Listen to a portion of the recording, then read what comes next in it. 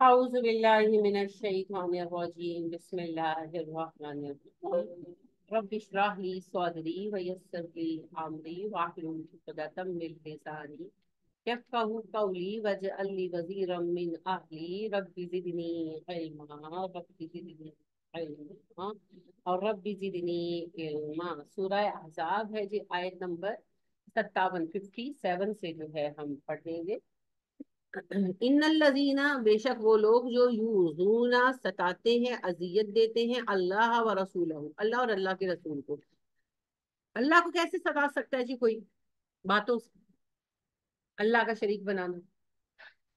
अल्लाह के बारे में गलत बातें कहना। फिर अल्लाह के बंदों को सताना। नबी वसल्लम ने कहा, अल मखलूक अयालुल्लाह। मखलूक अल्लाह का कुंबा है। तो जो उनके साथ बदसलूकी करता है, अगर आपके बच्चे को कोई सताए, तकलीफ़ होगी ना तो अल्लाह के बंदों को कोई सताता है, अल्लाह को भी तकलीफ़ होती है, और फिर मोमिन को सताने से तो बहुत होती है। तो अल्लाह के नबियों को सताना, जो सताए गए हमेशा, अल्लाह के एक बंदों को सताना। अब आप देखें, फलस्तीन जो है, क्यों तबाह किया जा रहा है? मुसलमान है ना इसलिए सारी दुनिया चुप करके बैठी हुई है। तो इस पर सबसे ज़्यादा गजबनाक कौन है? अल्लाह। जल्दी नहीं है बस अल्लाह को। हमें ही लगता है ना कि फिर अल्लाह मदद क्यों नहीं करता? अल्लाह ने सारे फैसले रखे हुए कयामत के दिन। पूरा पूरा बदला देगा, अल्लाह काम नहीं करेगा। दुनिया के मामला हम पे छोड़े हुए। अगर दुनिया भी अल्लाह ने रन करनी होती, खुद अकेले, यानी कि हमें टेस्ट के लिए टाइम ना देना होता। जैसे आप देखें, एक बच्चा लेबोरेटरी में खड़ा है, मैट्रिक का है, साइंस के उनके टेस्ट हो रहे हैं। तो वो करते हैं ना एक्सपेरिमेंट। अब उस्ताद देख रहे हैं कि बच्चा एक्सपेरिमेंट गलत कर रहा है तो सही कराएगा आकर? नहीं कराएगा ना, क्योंकि उसका टेस्ट है। हो जाए फिर।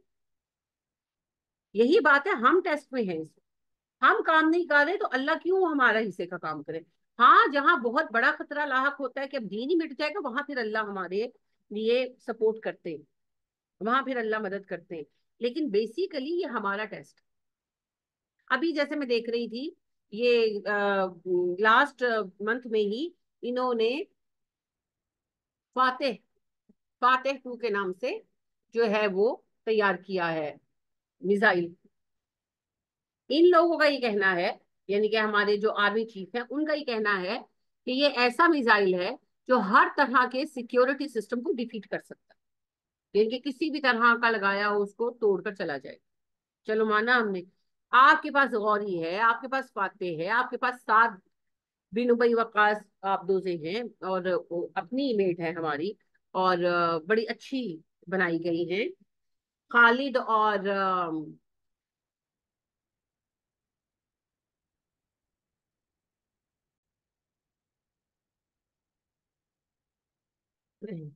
हमारे पास टैंक हैं और बड़े लेटेस्ट टैंक। किस लिए है ये सारा कुछ? संभाल के रखने के लिए। फलस्तीन की मदद तो नहीं कर सकते। ये नहीं कर सकते जेनवनली नहीं कर सकते। ये इनकी कहानियाँ हैं। फलस्तीन फलस्तीन जो इसराइल के इस वक्त तो इसराइल वहाँ पर है ना? तो इसराइल ने फलस्तीन का सिक्योरिटी सिस्टम इतना मज़बूत किया हुआ है और वो इस कदर छाया हुआ है दुनिया पर इस टाइम कोई एक मुल्क उसका कुछ नहीं बिगाड़ सकता। हाँ चार पाँच ताकतवर मुसलमान ममालिक मिल जाए। सऊदिया, Dubai, Qatar Iran, Malaysia, Pakistan और तुर्किया, यानी कि तुर्की। ये मिल जाए पाँच छह मुल्क, फिर ये उसको गिरा सकते लेकिन मुसलमान और मिल जाए, ये कैसे होना है? तो ये बड़ी तकलीफ़ से सूरत है हाल। फिर उसके अलावा बात ये है, आप पर जंग कहीं जाकर करना तो दूर की बात आप अपने मुल्क पर अल्लाह ना करे, पाकिस्तान पर हमला हो जाए तो हम जंग के लायक है। हम नहीं, पता है क्यों? तेल ही नहीं है हमारे पास, बिजली हमारी नहीं चलती।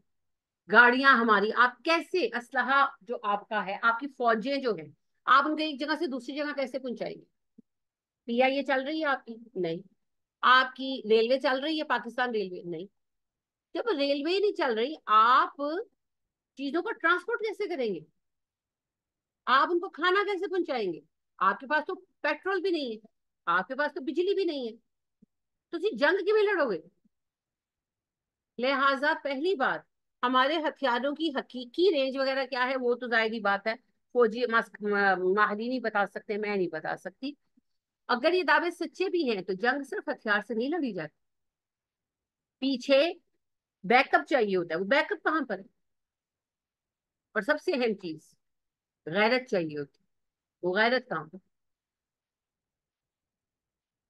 लिहाजा जी चीज़ें बहुत तकलीफ़ दे हैं तो अल्लाह को सताते हैं जब ये अल्लाह के बंदों को सताते हैं, जब ये अल्लाह के दीन को खराब करते हैं। जब ये आपके घर को कोई गंदा करे तो आपको बुरा लगेगा? तो ये दुनिया अल्लाह की बनाई हुई है। इसको जब ऐसे तबाह करते हैं, तब अल्लाह को अजियत होती मगर अल्लाह सबसे ज़्यादा सब्र करते हैं। पता है क्यों? अल्लाह को पता है, वापस तो मेरे पास आएँगे, उसकी निसाब में तो बहरहाल ये सब असबाब है अल्लाह और रसूल को सताने रसूल को तो फिजिकली भी सताया जा सकता है। जैसे आप सल्लल्लाहु अलैहि वसल्लम को तंग करते थे ना, मज़ाक उड़ाना घर वालों को सताना, ताने देना, झगड़े करना, उसके अलावा फिर उम्मत के मसाइल भी। अगर नबी सल्लल्लाहु अलैहि वसल्लम आज फिजिकली होते तो क्या फलस्तीन के हालात पर गम गमजदा ना तो लिहाजा उम्मत का सताना भी नबी को सताने में शामिल और फिर वैसे नबी सल्लल्लाहु अलैहि वसल्लम को सताना। ये सूरह हजाब का खास मौजूद जो है, वो नबी सल्लल्लाहु अलैहि वसल्लम का जो मकाम है, आप की जो शान है उसका बयान तो यहाँ खास आपकी फैमिली की बात है। तो आप सल्लल्लाहु अलैहि वसल्लम को तंग करना, अगर कोई आपके बच्चे को बुरा भला कहे आपके सामने तो बुरा लगेगा आपको? डेफिनेटली लगेगा। बच्चा तो दूर की बात है, आपके भांजे भतीजे को कुछ कुछ कह रहे यानी कि मुझे जिस बात पे मैं सचमुच मेरा दिल बुरा होता है, मेरी बच्चियों को कुछ कहे, मैं अपने बेटे से नाराज़ हो जाती हूँ। कभी एक हाथ लगाए तो मैं उनको कहती हूँ, मारा ना करो बेटियों को मारती शर्म नहीं लगती मुझे अच्छा नहीं लगता। हालाँकि वो उनका बाप है, मैं तो दादी हूँ, लेकिन मुझे अच्छा नहीं लगता। मेरी इस बात पे अपने बेटे से लड़ाई हो जाती तो आप सोचिए कि नबी वसल्लम के घर तो हर वक्त आना जाना तो आप वसल्लम के बच्चों को कुछ कहना या आपकी बीवियों के बारे में कोई बात करना या कुछ भी ऐसी बात जिससे जो आपको रंज दे हुँ? हम्म, आपके घर बिला वक्त उठा कर आ जाना आप सब के घर में ताका झाकी करना हम्म, तो ये बात खातन की हो रही थी कि अल्लाह पाक ने कहा कि खातन जब बात करें महातुल मोमिनीन तो आड़ के पीछे से ओट के पीछे से बात करें उनको तो हुक्म दे दिया। अब अल्लाह उम्मत को कह रहे हैं कि नबी को सताना मत। तो सताने में ये भी शामिल है कि वक्त बे वक्त उनके घर आ जाए। आकर घर की खातिन के साथ बैठकर गप्पे मारे। सहाबा तो ऐसी हरकतें नहीं करते थे, पर मुनाफिक अंसर भी तो बीच में ही था। अब मुनाफिक के माथे पर तो नहीं लिखा हुआ कि मुनाफिक।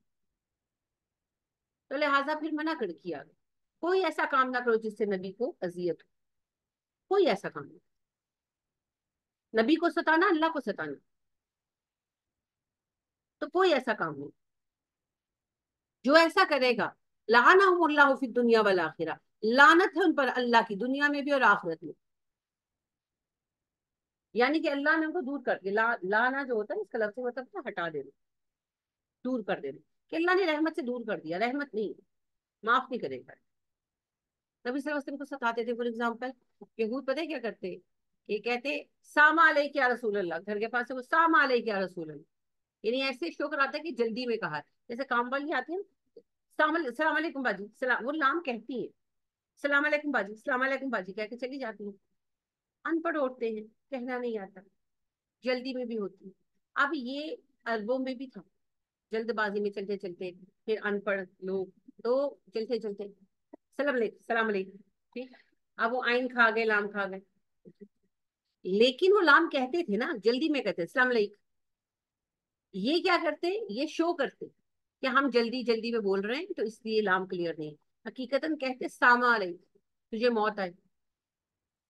तो नबी सल्लल्लाहु अलैहि वसल्लम जवाब देते, वालेक। बस। मुसलमान जो सही सलाम करता सलाम या रसूल अल्लाह या अलैक सलाम दोनों तरह कहा जाता था। अलैकुम असल में जमा का सीगा। ढेर सारे लोगों को। तो आमतौर पर नबी सल्लल्लाहु अलैहि वसल्लम को अस्सलाम वालेकुम नहीं कहा जाता था। आप अकेले थे ना। तो अब हम तो सबको यही कहते हैं तो ठीक है, ये कोई गुनाह सवाब की बात नहीं है। अगर वैसे अकेला हो तो अस्सलाम कहना चाहिए, दो हो तो अस्सलाम कहना चाहिए, ज़्यादा हो तो अस्सलाम कहना चाहिए। लेकिन इससे कोई गुनाह सवाब नहीं आता, ये ज़ुबान का मसला है। तो नबी सल्लल्लाहु अलैहि वसल्लम को सहाबा कहते थे, सलाम अलैक, या फिर अलैक सलाम, दोनों तरह से। आप पर सलामती हो सलामती हो आप पर, बस तरतीब का फ़र्क है।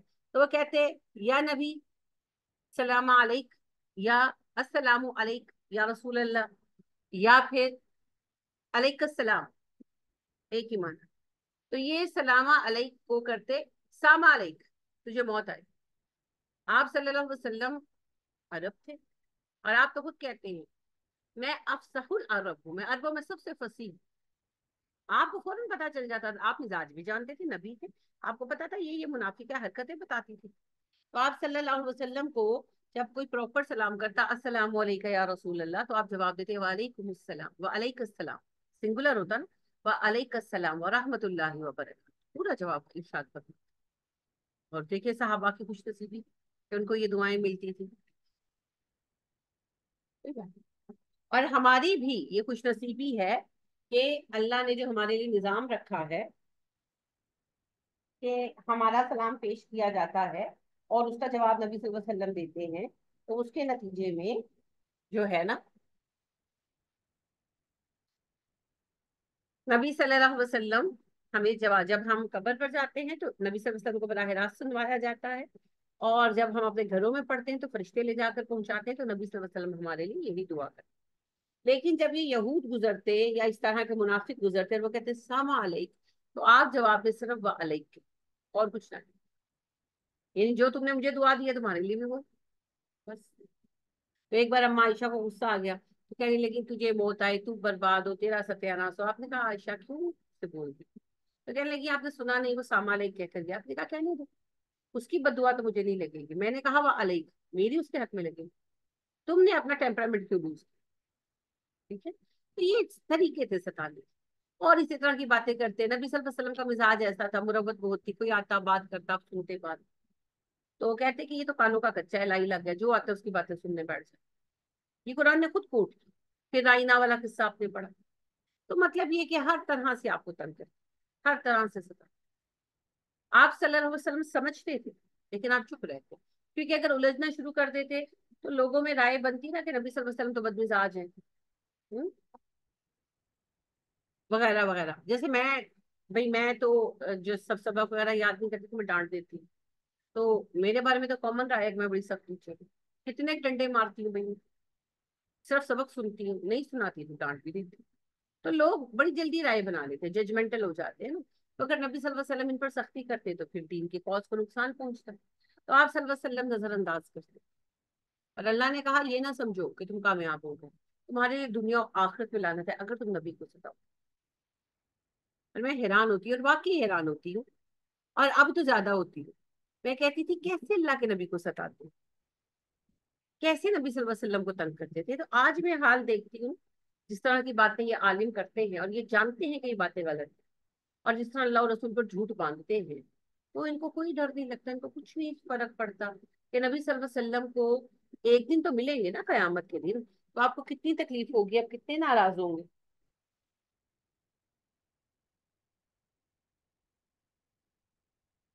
कोई परवाह नहीं है।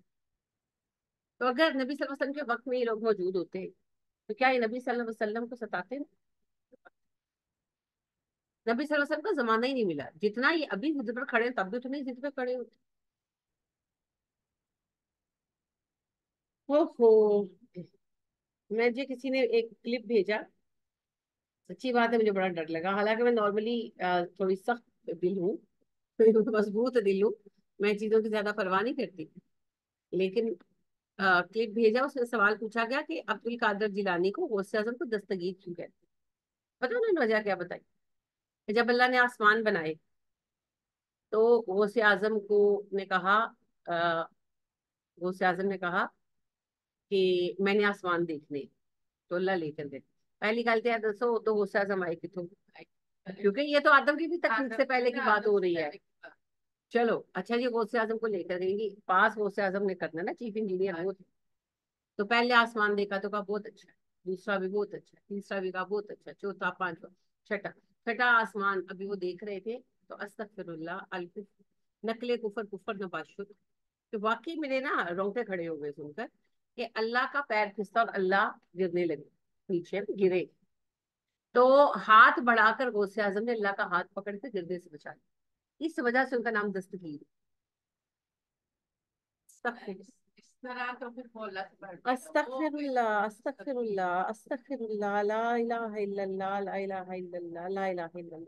और ये कहानी कोई हिंदू नहीं सुना रहा कोई काफर नहीं सुना रहा कोई क्रिश्चियन नहीं सुना रहा। इतनी इतनी दाढ़ियाँ रखकर ये बाबे मौलवी सुना रहे हैं। और बात ये है कि जो एक सुना रहा है कहानीबाज वो तो सुना रहा है ना जो ऊपर बैठे हुए उनके सेक्ट के लोग हैं जैसे ये बरेलवी बंदा है तो बरेलवी कम अज कम इजहार बरात तो करें कि ये वाक्य गलत है? इतना ही कह दे। सब चुप करके बैठे हुए हैं कोई नहीं बोलता कोई नहीं बोलता सिर्फ़ इस पर शोर मचाता है अगर कोई ग्रो तो अहले हदीस। वो शोर मचाते वो तो ही पर शोर मचाता है। हाँ वाबी। वो वो मुझे वाकई इतना डर लगा।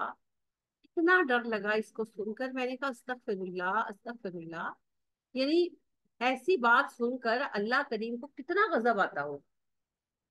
और फिर अल्लाह कितना रहमान है कि हमें रिस्क दिए जाते ये है अल्लाह को अजियत दे और कहीं तो अल्लाह का बंदो कोई तो दिमाग इस्तेमाल करो तब तो भी आदम नहीं बने थे। तो अब्दुल कादर जिलानी कहाँ से आ गए वहाँ? और सबसे अहम बात यह है अब्दुल कादर जिलानी की औकात क्या है कि वो जाकर आसमानों की इंस्पेक्शन करे? और फिर उससे बढ़कर अब्दुल कादर जिलानी की औकात क्या है कि अल्लाह को बचाए? फिर अल्लाह का नहीं तो बनाया ना? शरीक हो गया ना पूरा शरीक बना दिया। क्योंकि दो इंसान ही कर सकते हैं एक दूसरे एक लेवल के दो लोग। इवन आपका बच्चा आपको नहीं बचा सकता। अगर आप गिरे तो बच्चा छोटा है ना वो आपका वज़न नहीं होल्ड कर सकता। आपके कम अज कम बराबर ताकतवर इंसान होगा तभी वो आपको बचा पाए तो लिहाजा अल्लाह करीम को छठे आसमान से अल्लाह गिर गए गौसे आज़म नहीं गिरे। और अल्लाह का हाथ पकड़ के गौसे आज़म ने बचा लिया। अस्तगफिरुल्लाह। तो ये शिरक नहीं है तो और शिरक किस मुसीबत का नाम है? अल्लाह से बढ़ा दिया। अल्लाह से बढ़ा दिया। अल्लाह से बढ़ा दिया।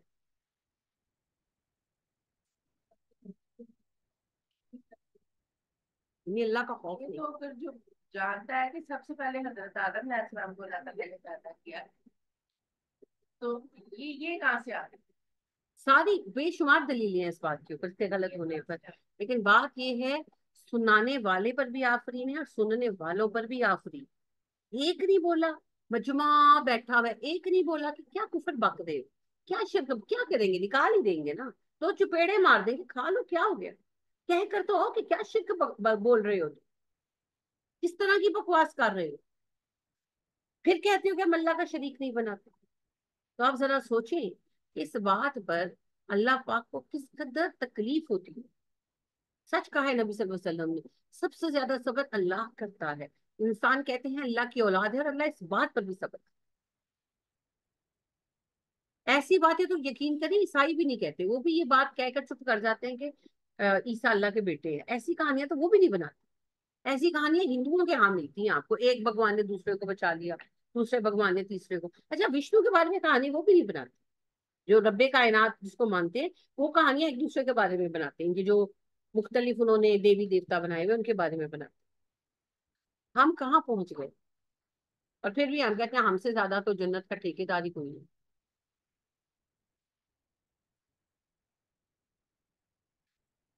अल्लाह अल्लाह, ला इलाहा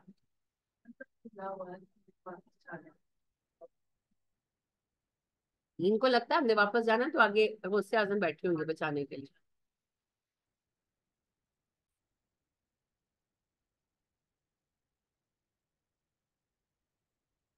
एक शिया आलिम है। बड़ी अच्छी वो बात कर रहे थे। वो कहने लगे, जो शिया हजरात हैं, उन्हें बचा लेना है हज़रत अली ने।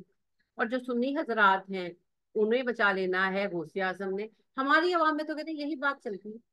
बिल्कुल सच इस बंदे ने बात जो मुहिद है, वो मुहिद है ना, चाहे वो शियों में पैदा हो, चाहे वो सुन्नियों में पैदा हो मैटर तो वो यही, यानी मजाकन कह रहे थे ना, कि यहाँ किसी ने अमल नहीं करना। किसी ने सवाल किया कि हमारे लोग अमल क्यों नहीं करते? उन्होंने कहा, जी, हमारे लोग अमल क्यों करें? शियों को अली रज़ी अल्लाह तला बचा लेंगे सुनियों को गौसे आज़म बचा लेंगे। तो जब बचाने के लिए बैठी हुई है पूरी उम्मत, उम्मीद लगा कर तो काम क्यों करेंगे? समझ बहुत सख्त बात है मगर बहुत सच्ची बात है। हाँ वो बचा ले वो अभी कोकब नूरानी साहब फरमा रहे थे। हाँ कोकब नूरानी साहब कहते हैं अब्दुल कादर जिलानी गए जहन्नुम के दारोगा मालिक से मिले। कहने लगे जरा ये बताओ कि तुम्हारे पास जहन्नुमियों की जो लिस्ट है मालिक के पास कोई लिस्ट है नहीं? ये तो कयामत के दिन होना सारा। और नबी सल्लल्लाहु अलैहि वसल्लम खुद जाकर नहीं मिल सकते। उनको मेराज पर जब लेकर गए हैं जिब्राइल, उन्होंने मुलाकात कराई है। ये रिजवान है, जन्नत के दारोगा ये मालिक है जहन्नुम के दारोगा। अब्दुल कादर जिलानी पूरी सल्तनत में उद्यम मचाते फिरते हैं अल्लाह की। वो जब दिल जाते छठे आसमान पे पहुँच जाते जहाँ दिल जाता तो जहन्नुम चले गए जी। और जाकर कहने लगे मालिक से कि, मालिक, मुझे बताओ कि जो लिस्ट है जहन्नमियों की तुम्हारे पास, उसमें मेरे कितने मुरीदों का नाम? तो मालिक कहने लगे, आपके किसी मुरीद को जहन्नुम में डालने का हमें अख्तियार नहीं दिया है। अब नबी वसल्लम क्या कहते हैं? वो जो पूरी हदीस, शिफात है लंबी, पूरी, उसमें है ना कि जब आप जन्नत में चले जाएँगे, फिर आप जिब्राइल से पूछेंगे, जिब्राइल मेरी कितनी उम्मत जन्नत में कितनी जहन्नुम में? तो जिब्राइल कहेंगे बड़े हैं अभी तो जहन्नुम में, इतने इतने परसेंट, मिकदार नहीं आई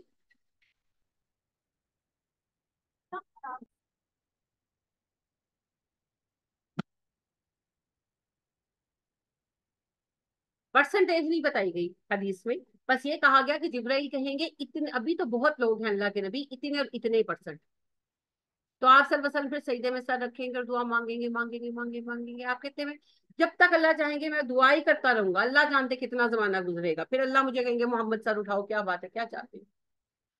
कहो, सल्लल्लाहु अलैहि वसल्लम। तो आप कहेंगे, अल्लाह जी, मेरी उम्मत माफ़ कर दी। अल्लाह कहेंगे अच्छा चलो, इतने परसेंट लोगों को निकाल। ईमान का बताया गया होगा ना कि इतने परसेंट ईमान वालों को निकाल लो। वो निकाल लिए जाएँगे, फिर नबी वसल्लम पूछेंगे, जिब्राइल, आप कितने जिब्राइल कहेंगे, अभी बहुत लोग हैं अल्लाह के नबी, इतने और इतने हैं। यानी वो फिर परसेंटेज बताएँगे। आप फिर कहते हैं, मैं सजदे में पड़ जाऊँगा और मैं तब तक अल्लाह की सना करता रहूँगा जब तक अल्लाह चाहेंगे।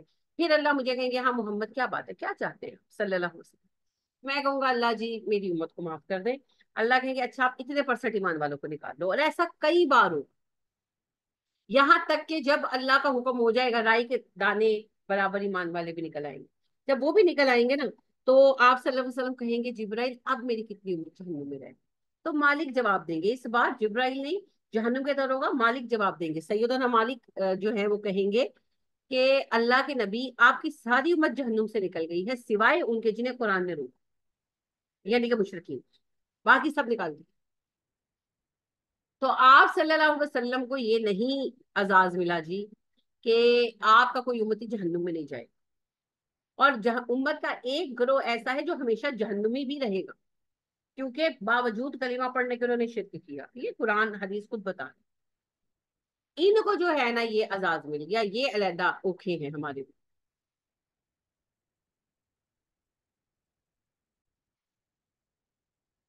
तो अब आप देखें, कोई सवाल नहीं करता।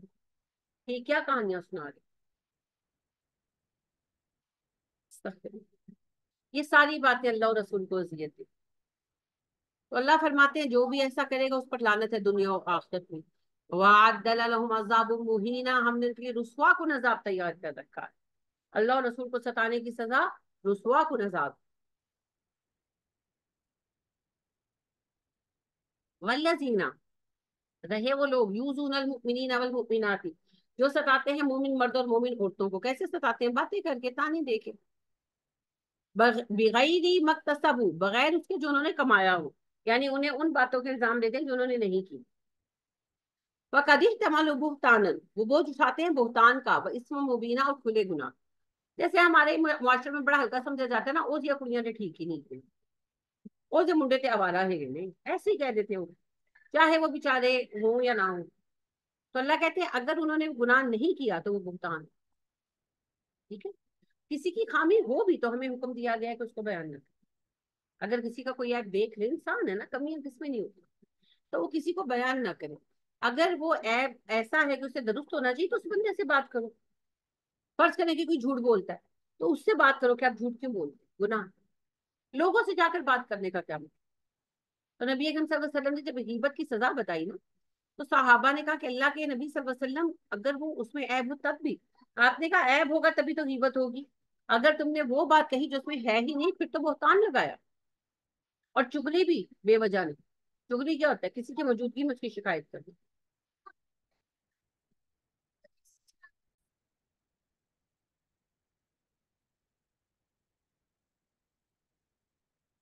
तो चुगली जो है, ये किसी की मौजूदगी में उसकी बुराई बयान करना या तो किसी की इसलाह के लिए मकसद हो ना। यानी कि जैसे फ़र्ज़ करें कि बच्चा जो है वो पढ़ नहीं रहा।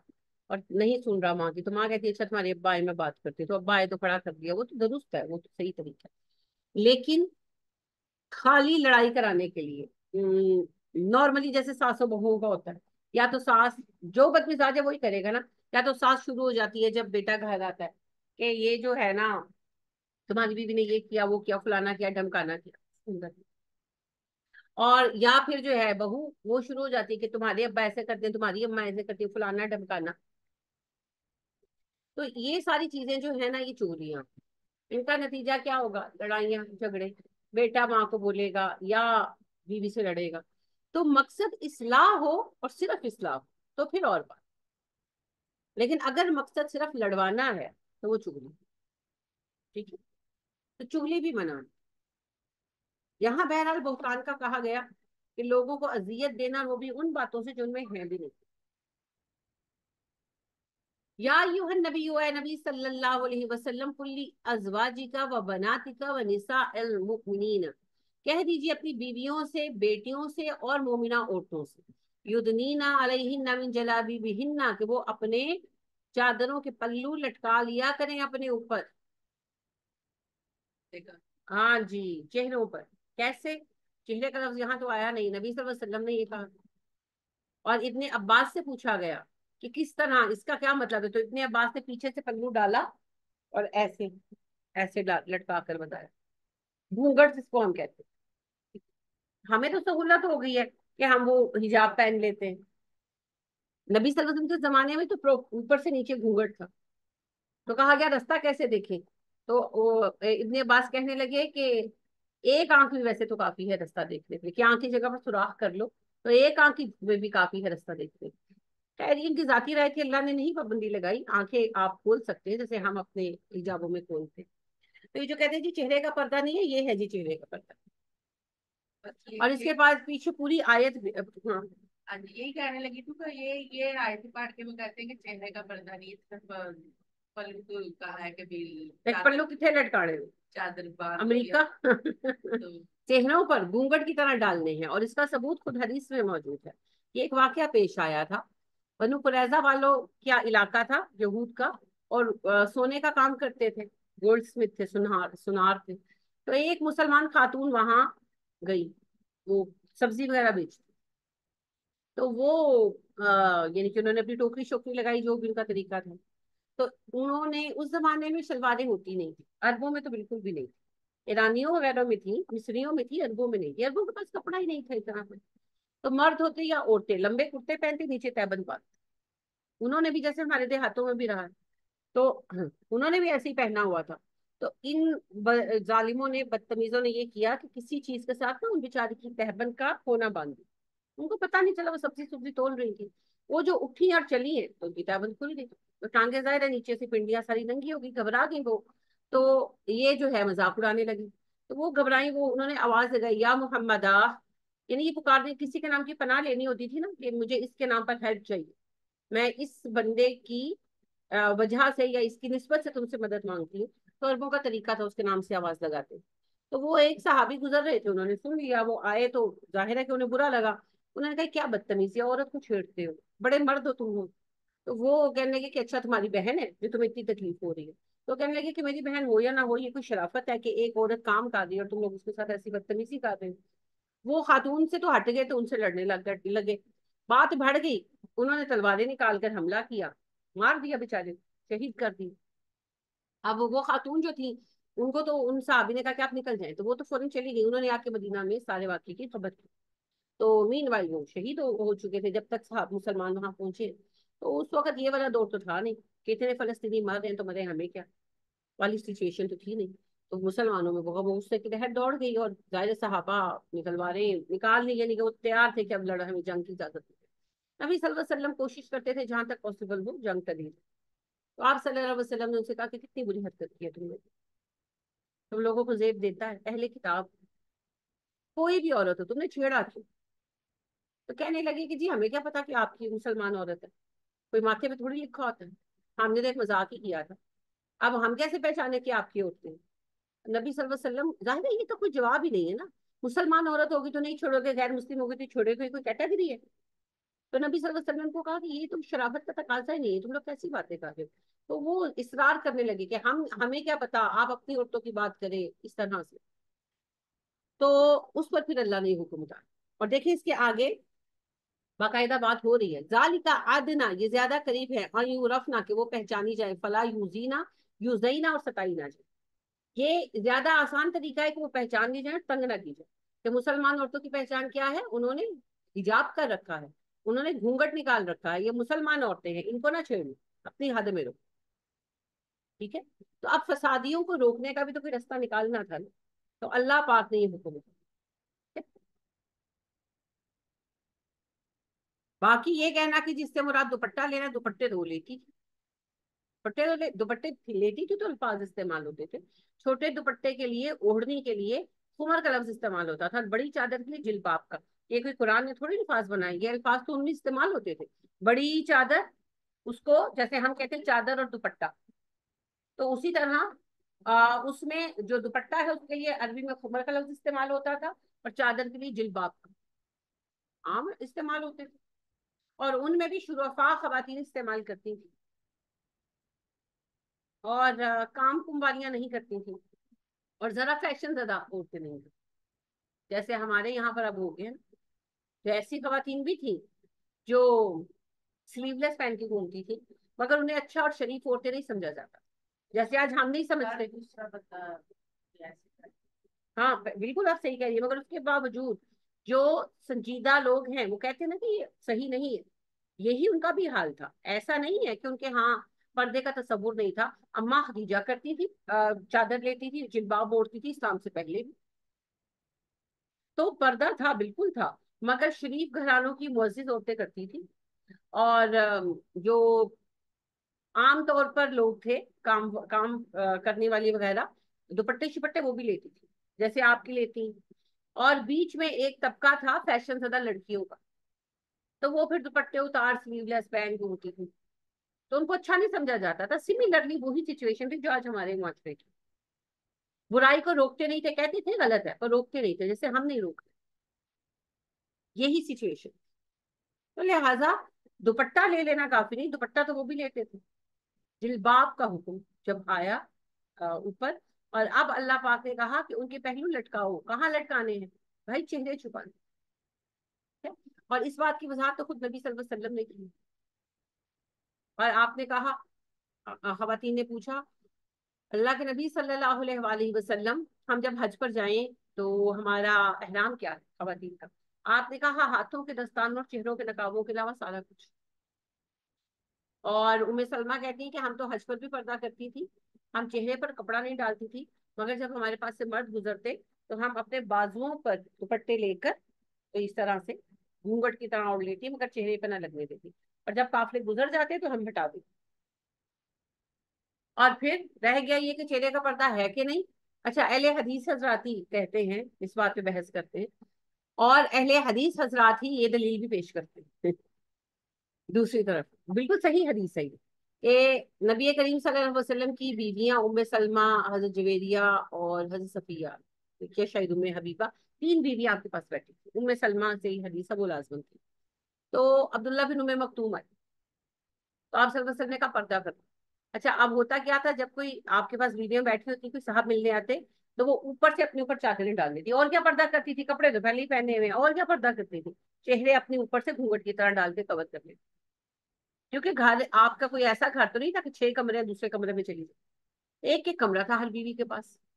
तो पर्दा ऊपर से डाल लेती थी, यानी कि घूंघट निकाल लेती थी ऐसे। तो जिसने आना, जो बात कर दी, चला जाना। तो अब्दुल्ला बिन उमे मकतूम आए तो आप सल्लल्लाहु अलैहि वसल्लम ने कहा कि पर्दा कर तो उम्मे सलमा कहती है हमने कहा कि अल्लाह के नबी वसल्लम, वो तो नाबीना है। आपने कहा, वो नाबीना है, तुम तो नहीं तो किस, कहाँ, क्या पर्दा करना चेहरा ही ढांपना था और क्या करना था? तो लिहाजा ये बिल्कुल गलत फहमी खैर, अहले हदीस में ये नहीं कहते कि ना चेहरा कवर करो ये नहीं कहते, वो ये कहते फ़र्ज़ नहीं। जिसने किया अच्छा किया जिसने नहीं किया, उसे गुनाह नहीं हो वकान अल्लाह गफूर रहीमा, अल्लाह बख्श देता है, अल्लाह मेहरबान है। यानी कि जो पहले तुमने कर लिया, वो मैं माफ़ कर दूँ लाइलम यंतहिल मुनाफिकूना, और अगर बाज ना आए मुनाफिक वल लजीना फ़ी कलूबही मरजुन वो जिनके दिलों में मर्ज है, हासिदीन, वल मुर्जिफून फिल मदीना थी मदीने में सनसनी पैदा करते रहे, बुरी खबरें उड़ाते रहे लनूरियन्ना का बिहिम, हम ज़रूर उनके पीछे लगा देंगे। सुम्मा ला याविरून कफीहा इल्ला कलीला, फिर वो आपके हमसाए ना रहेंगे मगर थोड़ा अरसा। यानी कि यहूद बार बार साजिशें कर रहे थे तो अल्लाह का अगर साजिशों से बाज ना आए तो हम निकाल देंगे। फिर निकाल दिया गया, फिर खैबर से निकाल दिया गया। मलऊनीना, लानत किए गए हैं ये। आई नवासुकीफू उखीजू व कुत्तिलू तकतीला, जहाँ कहीं वो पाए गए, पकड़े गए, कत्ल किए गए, इनका यही नसीब है। यानी अल्लाह कहते हैं कि अभी तो हम इनको टाइम दे रहे हैं। अगर बाज ना आए तो फिर इनका यही हाल होगा। तो पहले ये मदीने से निकाले गए। फिर हुदैबिया की सुलह के बाद खैबर बिन पर अटैक हुआ। फिर नबी वसल्लम ने हुक्म दिया अपनी वफात से पहले कि यहूद को अरब से निकाल दो। तो फिर उम्र फारूक रज़ी अल्लाह तला ने अपने जमाने में हज़रत अबू बकर को टाइम ही नहीं ना मिला, बहुत सारे मसाइल। तो उम्र फारूक रज़ी अल्लाह तला ने अपने जमाने में फिर इन्हें एक्सपेल कर दिया। सुन्नत अल्लाह खलौ मिन कबल। इनसे पहलों के बारों में भी अल्लाह का यही तरीका रहा है। वलन तजीद तब्दीला, अल्लाह का तरीका नहीं बदलता। यानी ईमान वालों को जो सताएगा, उसका खातिमा हो जाएगा। खातिमा इनका भी होना है जी, बस थोड़ा वक्त बाकी साथ ही लोग पूछते हैं कयामत कब आएगी? कुल कहिए इसका इल्म अल्लाह को है। हाँ हमारे बाबों को ज़रूर पता है। युद्री का करीबा कौन बताया आपको कयामत तो शायद करीब ही आ चुकी हो? कयामत की सबसे बड़ी निशानी आखिरी नबी का आना है। नबूत खत्म हो गई, अब बाकी क्या रहेगी? कयामत? उसमें भी हम, नबी वसल्लम ने कहा था, मेरी उम्मत की उम्र यहूद की आदि होगी। तो हम चौदह सौ साल तो गुजार चुके हैं। तो हम बहुत करीब हैं जी कयामत। और कितना करीब हो इन अल्लाह काफिरीना। बेशक अल्लाह ने लानत की काफिरों पर वाद लहुम साईरा और उनके लिए भड़कती आग का अजाब तैयार किया है, खालिदीना फीहा आबादा, जिसमें वो हमेशा रहेंगे। ला यजिदूना वली वला नसीरा, ना उनको कोई दोस्त मिलेगा, ना मददगार। योमा तुकल्लबु वजूहहुम फिन नार और जिस दिन उनके चेहरे आग पर उलट पुलट किए जाएँगे। जिस तरह आप सीख भूनते हैं तो उसकी साइड टर्न करते हैं हर तरफ़ से पक जाए। अस्तगफिरुल्लाह, वही मामला है। कुलूना कहेंगे, या लईतना तो अल्लाह काश हम अल्लाह की इतात करते वा तो अन रसूला, काश हम रसूल की इतात करते। यानी हर अहद के काफिर अपने अपने नबी की इतात ना करने का गम बनाएँगे वकालू कहेंगे, रब्बना इन्ना तो सादतना। अल्लाह बेशक हमने इतात के अपने सरदारों की, व कुबारा और अपने बड़ों की। बड़े कौन? अजदाद, अब्बे दादे। फजलून सबीला, उन्होंने हमें रस्ते से भटका दिया। रब्बना आती हिमजीफाइनी मिनल अजाबी, अल्लाह ने दुगना अजाब दे, वल अनहुम लानन कबीरा, और इन पर बड़ी लानत मुसलत कर। ये सारे जो, ये है ना, आपके नाम ने हाथ सारे आलम जो बैठे हुए और इन्होंने अकीदे खराब किए हैं बड़ों के हमारे, यही सारे हमारे बड़े बैठकर बदुआएँ देंगे जहनुम में। क्योंकि उन्हीं के कहने पर ये सारे बने बैठे हैं ना मुख्तलिफ़ दिनों पर। या यूहल्लजीना आमनु, ए ईमान वालो, ला तकूनु कल्लजीना मूसा। मत बनना उन लोगों जैसे जिन्होंने मूसा को सताया। फबर्राहुल्लाहु मिम्मा कालू। अल्लाह ने बरात ज़ाहिर कर दी मूसा की उस मामले से जो वो कहते थे। फकाना इंदल्लाहि वजीहा। अल्लाह के हाथ तो वो बड़े बाइज्जत थे। हज़रत मूसा की कौम जो थी, बनी इसराइल को सताती बहुत थी अपने नबियों तो हज़रत मूसा सलाम वाहया आदमी थे तो किसी के सामने नहाते नहीं ये लोग जब नहाने के लिए जाते, नहरों बड़े ज़्यादा जमाने में नहाते थे। तो कपड़े कुपड़े उतार घुस जाते, लंगोटियाँ शंगोटियाँ पहन कर हज़रत मूसा को अच्छा नहीं दिखता। तो वो अलहदा तन्हाई ढूंढ कर नहाते तो इन्होंने ये बात उड़ा दी कि मूसा को ना बदस की बीमारी है फुलबैरी की। इस वजह से मूसा किसी के सामने नहीं रहा तो हदीस में आता है कि एक दिन मूसा इस्लाम नहाने के लिए घुसे। ज़ाहिर उन्होंने भी लंगोट शंगोट तो पहना हुआ था। ऊपरी कपड़े उतारे तो वो ना, कपड़े पहनने के लिए जब निकले, नहाकर जब निकले तो पत्थर चल पड़ा। जिस पत्थर पे कपड़े रखे थे, वो पत्थर चल तो मूसा पत्थर के पीछे भागे। वो पत्थर मेरे कपड़े वो पत्थर मेरे कपड़े। और यहाँ तक के बनी इसराइल के एक ग्रोह के सामने पहुँच गए हज़रत मूसा। नेकेड नहीं थे। जैसे आज भी कुओं वगैरह पर नहाते हैं तो वो आजकल वो पहनते हैं अंडरवेयर पहले लंगोट बाँध लेते थे। तो वो तो बांधा हुआ था, अलबत्ता ऊपरी कपड़े उतारे हुए। तो उन्होंने देख लिया कि मूसा सलाम की बॉडी पर किसी तरह का कोई दाग दबा नहीं उनकी हयात। तो इन्हीं ऐसे तंग करते थे कि खूबी को भी मुसीबत बना देते। तो अल्लाह ने कहा कि यहूद ने तो अपने नबी को ऐसे ऐसे सताया है, क्या तुम भी सताओगे? तुम भी उठपटांग बातें करोगे, तुम भी परेशान करोगे नबी। या ईमान वालो अल्लाह से डरो और सीधी सीधी बात कहा। घुमा घुमा कर करना, देखिए दो तरह से, है ना? एक तो ये है कि बात इस तरह करना कि किसी को शक में डाल देना, और दूसरा ताने मारना, झगड़े करना, ऊट पटांग बोलना, दोनों से अपनी ज़ुबान को रोक करो। उतनी बात कहो जितनी ज़रूरत है, और सीधी बात करो, घुमा फिरा के ना करो, झगड़ा ना करो, ताने ना दो सीधी सी बात है, अच्छी बात कहो। नबी वसल्लम ने सम अप कर दिया बात। आपने कहा, जो अल्लाह पर और आखिरत पर यकीन रखता है, या तो चुप रहे या अच्छी बात है तो अच्छी बात है तो कह दो अच्छी बात नहीं कह सकते चुप रहो। मत कहो। खामोश हो जाओ। मान समझा न जा जो चुप रहा वो बच गया। खामोश हो जाओ। जिस बात का कोई हल नहीं, उसे छोड़ दो अल्लाह। युस्लिह लकुम आमालकुम वो तुम्हारे अमाल दुरुस्त कर लेगा वह फिर लकुम जुनूबकुम, तुम्हारे गुनाह माफ़ कर देगा। और मैं युति इल्लाह व रसूलहु, जो अल्लाह और अल्लाह के रसूल की इताअत करेगा, फकत फाज फौजन अजीमा तो वो बहुत बड़ी कामयाबी हासिल कर लेगा। इन्ना अरजनल अमानता अलस समावाति वल अर्ज़ वल जिबाली, और हमने पेश किया इस अमानत को आसमानों ज़मीन पर, पहाड़ों पर। अन यहमिल्लाहा, उन्होंने इनकार कर दिया कि वो उठाएँ इस अमानत को। वाशफकना मिनहा, वो डर गए इसके उठाने से। वहाँ मलहल इंसान इंसान ने उसे उठा लिया। कौन सी ज़िम्मेदारी थी जी? नबूवत की, दीन पहुँचाने की, खिलाफत की। ना जलूमा, जहूला, इंसान बड़ा जालिम है, इंसान बड़ा जाहिल है।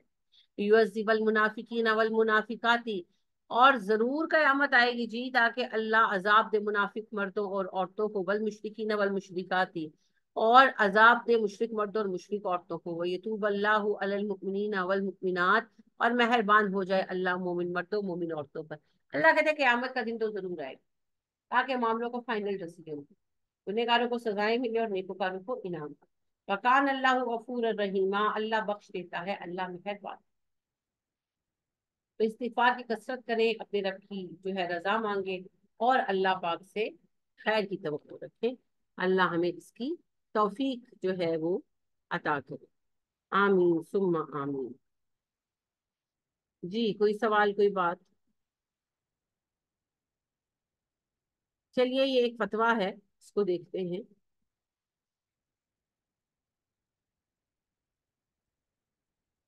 आ, एक सेकंड मैं जरा से खोल दूँ।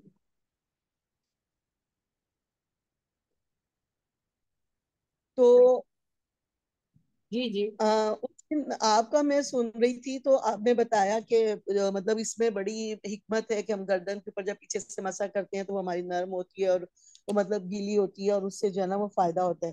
तो फिर ये क्या ये है इसमें गर्दन का मसा करना पीछे से? गर्दन का मसा करना सुन्नत से साबित नहीं है। बिल्कुल सही है। गर्दन का मसा करना सुन्नत से बिल्कुल साबित नहीं है। तो मारूफ तौर पे लोग करते हैं अगर कोई कर ले तो ठीक है गुनाह नहीं होगा लेकिन ना करना ही बेहतर। सही। ठीक है? अच्छा एक मेरा ना पर्सनल एक मैंने आपसे डिस्कस करना है मैंने उसकी कॉल की थी शायद आप नहीं कर सकी ज़ाहिर बिज़ी होंगी वॉइस नोट भी किया था। तो मैं किस टाइम आपको कॉल कर लूँ? सात बजे के बाद आप कर लें। या मैं आपका वॉइस नोट सुनकर आंसर कर दूँगी या सात बजे कर लूँ सात सवा सात नहीं वॉइस नोट में भी मैंने वो नहीं आ, किया हुआ मैं सिर्फ़ यही जानना चाह रही थी कि मैं सात सवा सात कर लूँ ठीक हो चलें ठीक है थैंक यू ये जी एक मैसेज आया हुआ है फतवा है ये एक्चुअली और इसमें कहा गया है कि इन लोगों के साथ अगर आप कुर्बानी करेंगे तो कुर्बानी नहीं होगी। पहला बात है जी, सूद का कारोबार करने वाला। सूद के कारोबार करने वाले का तो काम कबूल नहीं होता, ये सही है। लेकिन यहाँ पर पहली बात ये समझ लें कि दो लोगों ने मिलकर कुर्बानी की, जैसे गाय में हिस्सा डाला। तो एक की कमाई हलाल और एक की हराम है। तो जिसकी हलाल है, उसकी कुर्बानी तो हो जाएगी। ठीक है? क्योंकि उस कुर्बानी कुर्बानी कबूल नहीं होगी, वो एक अलहदा बात है। लेकिन जानवर हराम थोड़ी हो जाएगा। समझ रहे हैं? तो लिहाजा जैसे गाय में होता है, हिस्सा आप डालते हैं। तो सात लोग हैं, सबकी अपनी अपनी जो है इनकम के सोर्स हैं। तो जिसका जिसका हलाल है, उसकी कुर्बानी हो जाएगी।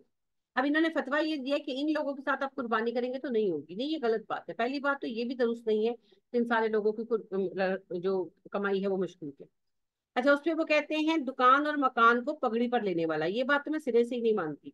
घर रहन लेना या पगड़ी रहन लेना दुकान रहन लेना, ये बिल्कुल दुरुस्त है, इसमें कुछ नहीं है। बैंक में मुलाजमत करने वाला बैंक की नौकरी हलाल नहीं है ये बात सही है पर सिस्टम बदलो ना आपकी जो यूथ है उसका तकरीबन थर्टी फाइव परसेंट बच्चा जो है वो बैंकों में काम कर रहा है तो उसी ਉੱਥੋਂ ਉਹਨਾਂ ਨੂੰ ਕੱਢੋਗੇ ਤੁਹਾਡੇ ਕੋਲ 1% ਦੇ ਲਈ ਜੌਬ ਹੈ जॉब तो है नहीं आपके पास कहाँ लेकर जाना है तो सिस्टम बदलो लड़कों के ऊपर फतवे लगाने से मसला हल नहीं होगा हुकूमत का ऊपर फतवा लगाए सिस्टम चेंज सिस्टम ही है तो बच्चे कहाँ जाए? हुकूमत जॉब जनरेट करती है ना तो हुकूमत के तो यही इदारे चल रहे हैं। चार पाँच तो इदारे चल रहे हैं। तो बैंक बच्चे छोड़ दें तो कहाँ जाए? आप उनको जॉब दे सकते हैं नहीं दे सकते तो फतवे ना लगाए। पता है क्यों? वजह क्या है? क्या करें? कहाँ जाए? ग्राउंड रियलिटी है बिजली का बिल लाना है बच्चे की फ़ीस देनी है उनके माँ बाप है उनकी फैमिलियाँ हैं क्या करें? अच्छा जी, लॉटरी बेचने वाला, लॉटरी का भी वही मामला है जी प्राइस बॉन्ड वगैरह। हुकूमत की सरपरस्ती में बिकते हैं ना, बंद करें हुकूमत सारा कुछ। हुकूमत के इदारों में जॉब कर रहे हैं काम कर रहे हैं। वो तो अपना पूरा मेहनत करके पैसे कमा रहे हैं। अब वैसे ही सब हराम है, पर हुकूमत पर फतवे लगाओ ना। आवाम पे क्यों लगाते हो? आवाम क्या करे, कहाँ जाए? चोरी डाका डालने वाला, भाई वो तो डेफिनेट है। चोर डाका के साथ तो मेरा ख्याल है कोई हिस्सा भी नहीं डालेगा। और अड्डा कुर्बानी करने वाला। ब्यूटी पार्लर का काम करने वाले। नहीं ये गलत है। ब्यूटी पार्लर का काम जायज़ है। सिर्फ़ जो एक दो हराम काम है जैसे आईब्रो शेपिंग वगैरह ये नहीं करना। टैटू यहाँ तो बनते नहीं है कोई खास अभी तो नहीं बनते। और प्राइवेट पार्ट की आ, काम नहीं करेंगे बाकी सब जायज़ है। हाँ अगर कोई मेकअप मैन वगैरह है और वो मॉडल्स को तैयार करता है तो उसकी कमाई हराम इस वजह से होगी कि वो एक फहाशी के काम के अंदर कंट्रीब्यूट कर। इट्स ब्यूटी पार्लर का काम हराम है ये गलत है ऐसी कोई बात नहीं। फिर ये वो कह ये कहते हैं जी इसलिए हराम है कि मेकअप करा के औरतें जो है वो बेपर्दगी करती हैं। भाई इस तरह तो फिर कपड़े पहनकर भी औरतें जो है वो जिसम दिखाती हैं तो फिर दर्जी भी हराम कर दो। ऐसे थोड़ी होता है ये कोई बात नहीं। हर किस्म का बीमा इंश्योरेंस पॉलिसी वाला फिर वही बात है। हुकूमत को कहो ना अच्छा जुल्फकार अली भट्टो लेकर आए इंश्योरेंस पॉलिसी पाकिस्तान में उन्होंने ये सिस्टम मुतारफ कराए थे वो तो शहीद ने ताड़े अज भी और अज भी ज़िंदा ने तो जेड़ा बेचारा मजबूर आम आम बंदा जिन्हें तनख्वाह से घर चलाना है, उसको एक नौकरी मिल गई है और वो खप खप के कमा रहा है, वो तुम लोगों को हराम नज़र है। हुकूमत को चेंज करो ना। अगर आप ये तीन चार इदारे हुकूमत के तो हैं सिविलियंस के लिए, इनको आप बंद कर देंगे तो फिर बच्चों को जॉब्स कहाँ से देके उनको ऑल्टरनेट तो दो ना। आपके फतवे खाकर तो घर चलने नहीं। तो पहले उनको ऑल्टरनेट दो, फिर फतवे लगाओ। इस्लाम में नबी अकरम वसल्लम ने जब सिस्टम स्टेब्लिश कर दिया और लोग खुशहाल हो गए, नौवे साल के एंड में जाकर, दसवें साल में जाकर जो है शुरू में सूद की हुरमत आई है। क्यों? क्योंकि अल्लाह को भी पता था कि घर तो चलने हैं। घर कैसे चलेंगे? तो सूद की हुरमत तब आई जब लोगों के पास ऑल्टरनेट जराए आ चुके तो ऐसे हवाओं के अंदर बात करने से नहीं काम होगा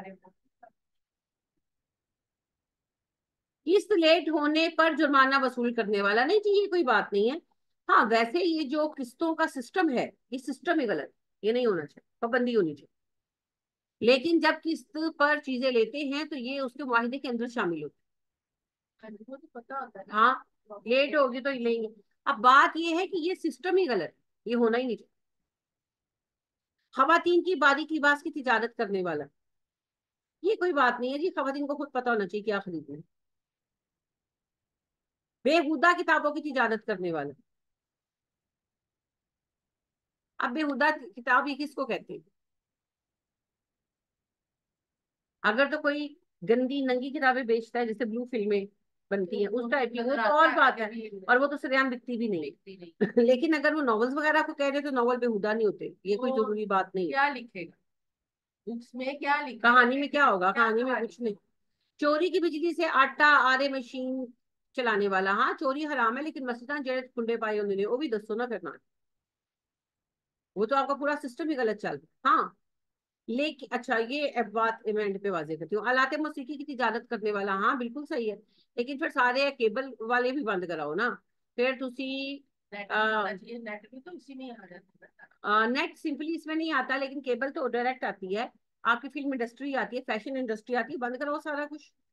चोरी की बिजली से कपड़े सीने वाला। भाई चोरी के ज़रिए इनकम हराम हो जाती है बिल्कुल सही है। पर मेरा क्वेश्चन वही है कि जो आप लोगों ने दो दो मीटर डाले हुए हैं और आप लोगों ने जो कुंडे डाले हुए हैं मस्जिदों में बैठकर मदरसों में बैठकर उसका क्या? वो सारा भी साथ डिस्कस करो ना। और सबसे अहम बात यह है सबसे ज़्यादा बिजली कौन चोरी कर रहा है? हुक्मरान। हुक्मराना तो फतवे लाओ ना जरा। उनको तो कोई कुछ नहीं कहता। एक गरीब मैं ये नहीं कहती कि गरीब के लिए जायज़ है पर मसला ये है कि आप उनको छोड़ देते हैं जो अरबों खरबों के फ्रॉड कर रहे हैं बिल नहीं दे रहे। और जो बेचारा थोड़े से बिल के ऊपर चोरी करता है उस पर फतवे लगाते हैं, नहीं होना चाहिए। हराम काम में एक पैसे का भी हराम है। लेकिन मसला ये है कि पूरा सिस्टम सीधा। खाली गरीब लोगों पे फतवे बांधने के लिए मत बैठे। सरकारी या निजी गाड़ी से गैर कानूनी तौर पर कमाई करने वाला हाँ बिल्कुल सही है, बिल्कुल गलत बात है। कि सरकारी चीज़ों को जाती मुफाद के लिए इस्तेमाल किया जाए। मिलावट करने वाला, बिल्कुल सही है। तो मिलावट करनी बंद कराओ ना।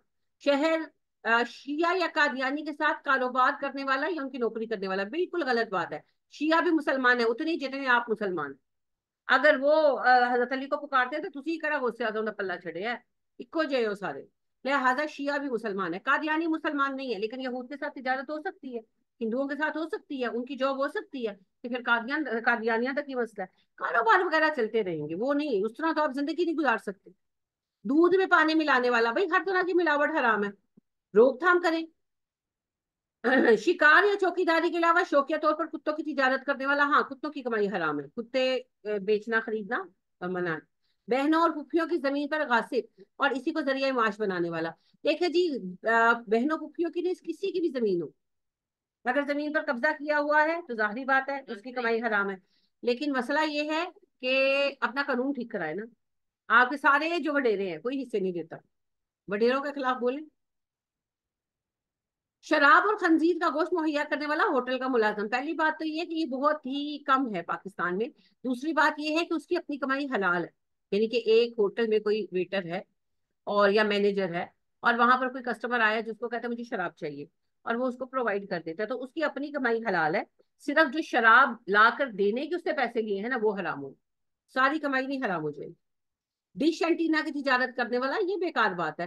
डिश एंटीना सिर्फ़ एक मीडियम है देखते क्या है वो आप पे डिपेंड करता है। इस तरह से फिर मोबाइल लैपटॉप टीवी सब बेचने ले जन्म में हाँ। सारा कुछ बंद कर दो फिर। आ जाता है हाँ। सारा निज़ाम पीछे से खराब खराब है।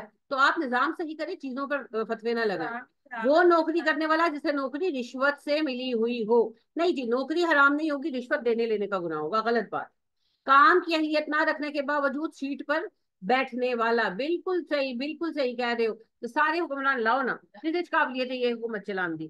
खो ना खलो, वो कलमा हक बोलो। तो तुम सारे के सारे ना अहल हो, छोड़ो, हुकूमत चल रही, हम खुद चला लेंगे। तो वो बिल्कुल आप सही कह रहे हैं, हंड्रेड परसेंट सही कह रहे हैं। पर शुरू करें ना, शुरू करें। नबी वसल्लम ने सच कहा है, सबसे बड़ा जहाज़ जालिम हाकिम के सामने कलमा हक कहना है। इंसानी बाल और दीगर अजा की तिजारत करने वाला और ट्रांसप्लांट करने वाला, नहीं जी, गलत है। बाल की बालों की तिजारत बालों की जो तिजारत है शाजिया से पूछो बालों की जो तिजारत है वो किस मकसद के लिए है ये देखा जाएगा विगी वगैरह बनाने के लिए है तो हाँ वो अलाउड नहीं है आ, बाकी आ, और तो किसी मकसद का मुझे पता नहीं आज़ाद की तिजारत कौन करता है भाई वो तो जब भी होगी इलीगल होगी है ना तो जैसे पीछे हुआ था दो तीन साल पीछे कि बच्चों को अगवा करके तो उनके किडनीज वगैरह निकाली गई थी अस्तफिरुल्ला। वो तो जब भी होगा इलीगल होगा। बाकी ट्रांसप्लांट वगैरह लीगल जो कर रहे हैं, वो तो जायज़ है। उसमें कोई खराबी नहीं है। ज़ाहिर है उसका डॉक्टर अच्छी खासी फ़ीस देते हैं। गलत इस्तेमाल करने वाले अफराद को मोबाइल का पैकेज लगवाने वाला। हूँ कि साइंस देता है, चेक करेगा भी कि पैकेज ला रहे हैं, वो किस मकसद इस्तेमाल करेगा। हाउ डू दे लो। ये तो एम ही बेकार की बात है। फ़िल्म, गाने और नाजायज मवाद मोबाइल में डालने वाला। हाँ सही बात है। एक बंदे जिसने मोबाइल की शॉप खोली हुई है और वो लोगों को पैकेज करके देता है, सब कुछ करके देता है, उसकी सारी कमाई हलाल है। अगर वो किसी को कोई गंदी फ़िल्म या गाने वगैरह डालकर देता है तो वो हराम है। और सिर्फ़ उन्हीं वो हिस्सा उसका, वो पोर्शन, वो कमाई हराम है। और सिर्फ़ उसी की थोड़ी हराम है। वो आपके केबल प्रोवाइडर के भी हराम है। वो फ़िल्म बेचने वाले की भी हराम है। वो तो फिर सारे आ जाएँगे उसके अंदर। सीढ़ियाँ बेचने वाले सब आ जाएँगे। लेबोरेटरी से कमीशन मिलने पर मरीजों से बिला ज़रूरत टैक्स करवाने वाला। हाँ वो सही है। यानी कि गैर ज़रूरी दवाइयाँ बेचना और गैर ज़रूरी टेस्ट कराने वाला, सही है, उसकी वो कमाई दुरुस्त नहीं है। नाजायज तरीके से मोबाइल पर कमाई करने वाला वो कैसे होती है? नाजायज कमाई हर तरह से हराम है मोबाइल पर हो या किसी भी जगह पर हो। खानदानों, खानदानी मनसूबा बंदी का, की जो दवाइयाँ हैं, वो लोगों को प्रोवाइड करने वाला। खानदानी मनसूबाबंदी का पूरा सिस्टम ही गलत है, जिस काम के अगेंस्ट है, उसके खिलाफ आवाज़ उठाए। अब मुझे बताएँ कि आपकी तो हुकूमत ही सब सितारा खोला हुआ है ना बहबूदियाबादी। तो सारे डॉक्टरों को हुकूमत अपॉइंट करती है ना तो वो कहाँ जाए? हुकूमत को चेंज करें? हुकूमत के नजरियात को चेंज करें? लोगों पर फतवे क्यों बांधते हैं? हर किस्म की सरकारी जब्त शुदा माल को फरोख करने वाला, ये क्या बात हुई? ये गलत बात है। जब्त शुदा माल समझ के जैसे गाड़ियाँ उठा लेते हैं टैक्स ना देने वालों की, या ज़मीन वगैरह ले लेते हैं। और फिर वो बाद में जब एक खास टाइम होता है हर चीज़ का, जब वो टाइम गुजर जाता है वक्त चीज़ देने नहीं आते तो चीज़ बेच देती है हुकूमत। तो नहीं, ये ये क्यों गलत होगा ये नहीं गलत। बिजली का बिल ज़्यादा आने की वजह से मीटर आहिस्ता करने वाला बिजली चोरी है ना? पर बात ये सबसे ज़्यादा बिजली आपके हुक्मरान और उसके बाद आप लोग मस्जिदों में चुरा, चुराते हैं। तो आप लोग बंद करें और लोगों को भी सीधा करें। सरकारी अस्पताल से गैर कानूनी तौर पर अद्वियात फरोख्त करने वाला चोर है वो तो भाई। अस्पताल की, सरकारी अस्पताल की दवाइयाँ बेचने वाला ना चोरी चोरी वो तो चोर है। इंसानी खून की खरीदो फरोख्त करने वाला ये कौन करता है? वैसे तो कोई नहीं करता हाँ कोई अपनी मजबूरी में करता है तो भाई बात ये है कि कितना मजबूर होगा वो बेचारा फिर ਤੁਸੀਂ ਫਤਵੇ ਲਾ ਦੋਗੇ ਤੇ ਉਹ ਖੂਨ ਪੀਣ ਵਾਲੇ ਜਿਹੜੇ ਹੁਕਮਰਾਨ ਬੈਠੇ ਨੇ ਉਹਨਾਂ ਤੇ ਕੋਈ ਫਤਵਾ ਨਾ ਲਾਇਓ ਜਿਹੜਾ ਵਿਚਾਰਾ ਇੰਨਾ ਪਰੇਸ਼ਾਨ ਹੈ ਕਿ अपने ही खून ਵੇਚਦਾ ਪਿਆ ਉਹਦੇ ਤੇ फतवा ला दे पुख्ता कपड़े बनाने वाला हाँ बिल्कुल सही है शिरक करने वाले ना पेशावर भिखारी बिल्कुल सही नाप तोल में कमी करने वाला बिल्कुल सही चोर से माल खरीदने वाला बिल्कुल असल वज़न से कम पैकिंग करने वाला, नाप तोल में कमी करने वाला है ना? बॉन्ड की तिजारत करने वाला, वो लॉटरी में ही आ जाता है। पेट्रोल पंप सीएनजी पर मीटर पैमाने से कम चलाने वाला, यानी कि कम तेल डाल के देने वाला, वो हेरा फेरी। हीरोइन चर्च वगैरह की तजारत करने वाला, ज़ाहिर बात है जी नशियात बेचने वाला टीवी की तजारत और मुरम्मत करने वाला तो फिर कंप्यूटर और मोबाइल सारा कुछ पाओ बिच नाजायज मुकदमात की वकालत करने वाला, जानदार अशिया की मूर्तियाँ खिलौने बनाने वाला। जानदार अशिया सारी नहीं आ जाएँगी इसके अंदर इंसानों वगैरह की आएँगी बाकी जानवरों के मुजस्मे खिलौने इसमें नहीं आएँगे। अच्छा अब बात ये है इन्होंने कहा क्या है? इन्होंने ये कहा है कि ऐसे लोगों के साथ मिलकर अगर आप, आप कुर्बानी करते हैं तो कुर्बानी नहीं होगी। नहीं ये बात गलत है। अगर किसी की कमाई में कोई हिस्सा हराम का शामिल है वो उसकी कुर्बानी को इफ़ेक्ट करेगा हिस्सा डालने वाले की कुर्बानी को इफ़ेक्ट नहीं करेगा। यानी कि गाय का आपने हिस्सा डाला और सात हिस्से होते हैं गाय में ज़ाहिर है। तो फ़र्ज़ कर लें कि छह लोगों ने मिलकर कर ली कुर्बानी। अब अगर किसी एक की कमाई हराम है तो बाकी पाँच लोगों की कुर्बानी इफ़ेक्ट नहीं होती। ठीक है? ये बिल्कुल गलत सोच इसका कोई हकीकत बस बैठकर फतवे जारी कर देना मस्तों का हल नहीं है। बहुत सारे काम करने पड़ेंगे तब जाकर इन चीज़ें हल होंगी सिस्टम बदलना पड़ेगा सारा कुछ तो ये गवर्नमेंट को ही करना पड़ेगा हाँ। मेजर बर्डन गवर्नमेंट पर है है ना। सारा कुछ प्रोवाइड करे तो क्यों गलत क्यों कोई जाएगा? हाँ जिसके हलाल मिल रहा हो। ये हैं जी कोई मुफ्ती गुलाम मुल्ला साहब हैं और कोई मुफ्ती मौलाना आतिफ हुसैन साहब हैं। ढेरकी के लोग हैं ये मैं उनकी नीयत पर शुबा नहीं करती लेकिन बात ये है कि ऐसे फिर वो गाल देना राय कोई नहीं। तो कहते हैं कि एक मौलवी साहब कह रहे थे कि कुले सरात वाल तो ज़्यादा बरीक तलवार तो ज़्यादा तेज गहरा अंधेरा थल्ले खड तो एक देहाती उठ के कहने लगा इसी तरह का वो मौलवी साहब, जन्नत जानदा राय कोई नहीं। तो कुर्बानी करता राय कोई नहीं, अपने हुकूमत सही करे। देखें जी, बात यह है, एक आम बंदा, एक आम बंदा, उस पर उतना ही लागू है जितना वो कर सकता। तो बैंकर्स को आप देखें, मैंने बहुत करीब से देखा मेरी फैमिली में कई बैंकर हैं, और मैं साफ़ कहती हूँ बैंक की नौकरी जायज़ नहीं लेकिन मैं लोगों को देखती हूँ एक एक पाई का हिसाब रखते हैं। इंतहाई ईमानदार हाँ और ऐसा माशाल्लाह खाता उनका। अब बात ये है अगर वो बैंक की जॉब छोड़ेंगे आपने उनके लिए कौन सी नौकरियाँ रखी हुई कहाँ जाएँगे? अब तकवा का वो वाला लेवल कि मैं टोकरी उठा लूँगा वो हर किसी का नहीं होता। तो ये बातें करनी बड़ी आसान है। पहले उनके लिए नौकरियाँ जनरेट करें फिर बात करें। कमाना कितना? हाँ घर कैसे चलने? घर कैसे चलने? तो लिहाजा बात ये है कि हमारे जिम्मे इतना ही है जितना हम कर रहे हैं। ये हुकूमत का जिम्मा है कि हमें हलाल कारोबार प्रोवाइड करें? ये सारा गुनाह हुकूमतों के सर पर हमारे सर पर नहीं। जी। आप जैसे हमें बता रही हैं आप तो नेट पे भी चला जाए। ये ये रिकॉर्डिंग भी जा रही है कि ये रिकॉर्डिंग भी अपलोड हो जाएगी पता तो चले ना लोगों को। ये हलाल रिस्क फराहम करना हलाल रोज़गार के जराए फराहम करना ये इस्लामी हुकूमत का काम और अगर हुकूमत ने हराम जराए खोले हुए हैं और आम बंदा अपना काम सही कर रहा है, जैसे देखें कि एक बंदा सिनेमा के अंदर जो है उसका काम वो कर रहा है, मगर वो क्या काम कर रहा है? वहाँ स्वीपर है, सफ़ाई कर रहा है। अब वो सफ़ाई का काम कर रहा है, सफ़ाई का काम हलाल है। वो तो कोई गलत काम नहीं कर रहा। सफ़ाई कर रहा बेचारा।